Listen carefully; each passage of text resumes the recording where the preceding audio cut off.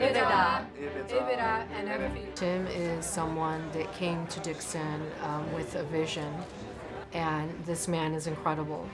Uh, very passionate, very driven.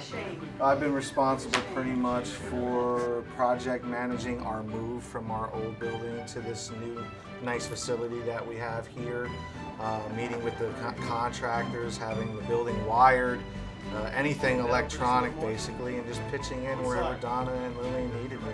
I was given the task of going through all the artifacts, consolidating them, making some sense out of them, and uh, coming up with a plan for the museum. Moving into the new facility, planning, uh, the logistics, you know, all the details, um, so much work that, that goes into that itself. Moving in was quite the challenge. Uh, we did not have enough movers and it was a very hot day and everyone had to pitch in to help get it done. We're speaking of a 200-year-old company. There's just so many things, so many things that needed to be moved, to be, needed to be cared for. It was a big task, but we all came together as a family and we did it. We, we made this happen within two days. My main goal and my main challenge was moving all of our systems and having them up and running the next day um, because we were still trying to ship items to our customers and, and run a business. That was the biggest challenge by far. The business had to um, continue.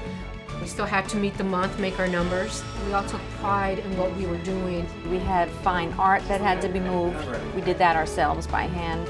We were so surprised when we went to the storage facility and found the painting literally up against a cabinet slanted to the side. It was a, a, moment of sadness a little bit because there was just so much history so many things that, that were in there that we wanted to get out as soon as possible and take care of. I mean, this is our company, this is our culture.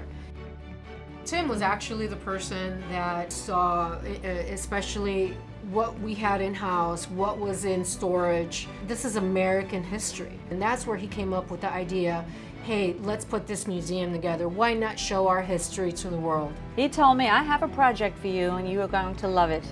It's been thrilling to take his vision and turn it into a real museum that now will be open to the public. I hear it all the time that they know we make a pencil, but they don't know the whole story. And when they come in and see the whole story, just to kind of see that the face light up and wow, didn't realize this. The Model T didn't realize our crayons went to space. You know, all these little details that we hope that they're going to learn about us when they come in. The next couple of days, we have some amazing things planned for and activities planned for all the people arriving, and um, having them have this experience of our museum, um, looking at a preview of the museum. And also, uh, we have a plan taking them to Sweet Night, to Orlando Magic Gang. On Saturday, we are taking our guests to the Riverboat Cruise, and um, we'll be on there having some uh, food and drinks. It's a very proud moment for all three of us to be at this point that we're at now. I would like to welcome everybody to the official grand opening of the Dixon Ticonderoga National Museum and Art Gallery. I think just him putting it all together and being the presenter and showing everyone this is what my vision was, this is what our vision was, and we finalized it. And now we can present it to the world. One, two, two three. Yes! The finite moment. This is it. We are opening it. It's official, so everybody needs to come and see us.